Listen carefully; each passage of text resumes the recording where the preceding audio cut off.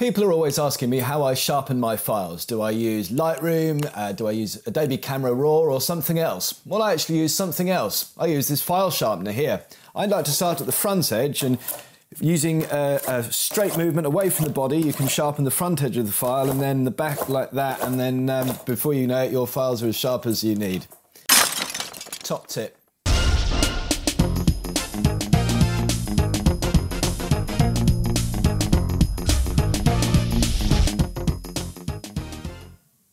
Hi, my name's Matt Widgery from mattwidgery.com.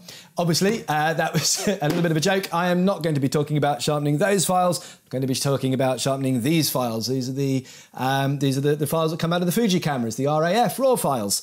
And I'm going to be showing you two separate ways to sharpen them very, very quickly. I'm not going to spend long on this because I want to show you that it's uh, perfectly possible to do this two separate ways probably more besides, but I'm going to focus on particularly two of them. So this is the file that we're going to be starting with. This is the lovely Moira. Moira came into my studio the other day because she wanted to get some headshots done for her website, profile pictures for her website, which you should go and visit, by the way. It's jawbox.co.uk.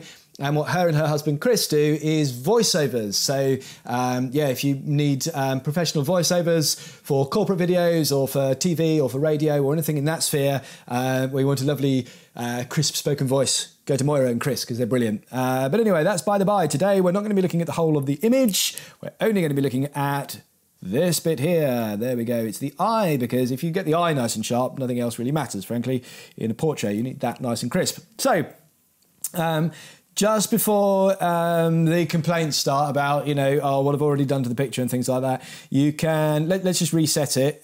This is how it came out of the camera entirely. Um, and you can see that Adobe have put some sharpening on there. So we're going to take that off because we're going to do all this ourselves.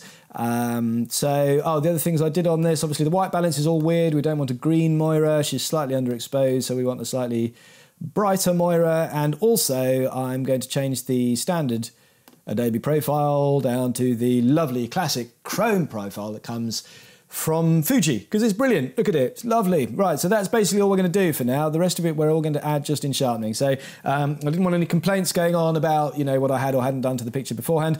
I also don't really care if anybody says, look, you haven't retouched all the hair out of her face and things like that because we're not not going to be worrying about retouching today.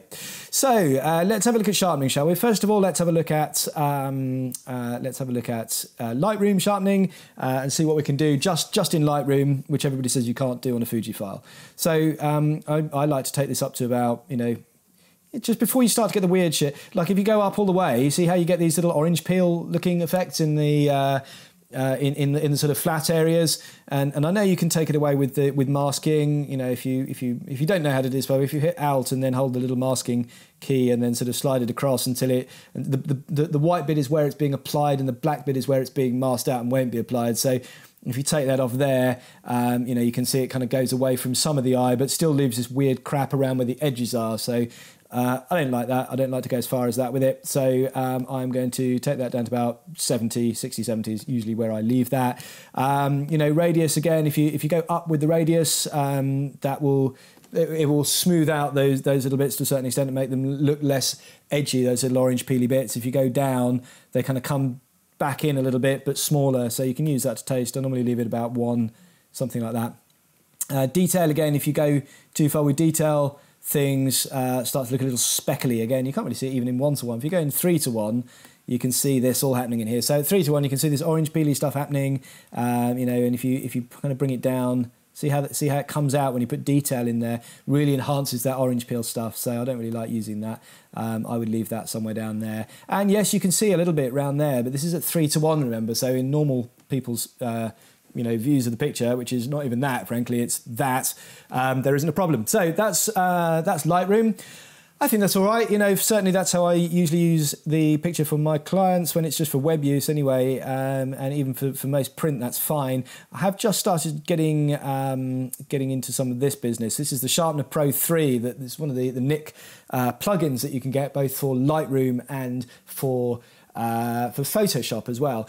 So we're going to have a look at this and we're doing a compare and contrast. Oh, before we do this, we'll cancel it out. First of all, we're going to take down, we'll take off all the sharpening from this and uh, we'll, we'll, we'll do a we'll do another version in in, uh, uh, in in Sharpener, and we'll just have a look and see how the two compare and contrast. So for my book, I, I would say you know the uh, the, the Lightroom is, is perfectly possible to do. Um, I do agree that there are some weird artifact things that happen when you really blow up an image and start pixel peeping to a, a huge degree. But if you're just doing something that's ever going to be seen on on like a website, this is going to be a website profile picture. You know, I definitely wouldn't worry about it. Um, if you're even if you're printing out, like I definitely wouldn't worry about it. it it's it's you know it, it's it's fine. Um, but you know, if you're printing out massively and wanting to look at something super super close, then it might be something that you want to try something else in. But you know, say rare. So let's have a look at this um, again on this one. Um, similar sort of thing, really. I like to boost this up to kind of around seventy or eighty, um, and define the edges a little bit with this this slider here. Just something around there. I'm just going to do this very, very quickly because I just want to really give you a very quick overview of what's possible um, with the two systems. I'm going to save that back out. That's all I'm going to do to that. Literally just, uh, you know, sharpen the edges a little bit, um, slide the adaptive sharpening up to about 80%.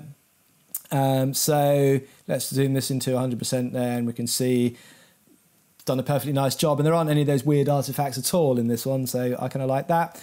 And if we go back over to the other one, this is the one that was in Lightroom. We took all the sharpening off that, remember, so we'll bung some back. Um, so that is with the, uh, we'll just let that load for a second. Um, so there we go. I mean, really, you know, I think that's fine. And um, and then this is the one from uh, from from Sharpener Pro, and I think Sharpener Pro does have the edge. Certainly, the the iris in the middle looks a little nicer to me than than this one. There's not a lot in it, frankly. It is slightly sharper on that one, and, and probably gets the best out of the files. So on balance, I'd recommend the Nik plugin versus just using it in in Lightroom. But if all you've got is Lightroom, don't worry. And if you've been like I have been, moving from another system, like the NEF files that came out of the, the, the Nikon, for example, which I always just used to you know do in, in, in Lightroom, and then sort of starting to come in and use um, the RAF files. I really wouldn't worry about it. There's nothing wrong with them. A lot of people complain desperately that you can't get a decent job out of them, but you know I think we've shown here that you can. Although I would give the edge to the Nik software plugin for that as well. So um, that's it. If you're super worried about super, super sharp and, and fine detail, go with Nik. Uh, if you just want to do a quick job or if it's just for, for web editing, use Lightroom. It's fine. Don't worry about whatever anybody else says. And for the love of God, if you're the sort of, if you've been out there worrying about whether or not to get the Fuji X-Trans system because you know you've been reading all these kind of you know uh, fire and brimstone forum posts uh, from the usual internet nut jobs that are saying, oh, you know, you can't, you know, Adobe Lightroom is the worst thing in the world for X-Trans sharpening and it'll never work. Um, take it with a grain of salt. There we go. There's the proof. It works perfectly all right. So this is the Lightroom one again. That was the Nik. That's the Lightroom. That to me looks, when it's loaded anyway, even before it's loaded, it looks fine actually, but we'll let that load up. Loady, loady, loady, loady, loady. There we are. So that now, to me, looks like a very sharp and beautifully crisp eye. That's it. That's all I've got to say on sharpening for the RAF files. Thanks very much for watching.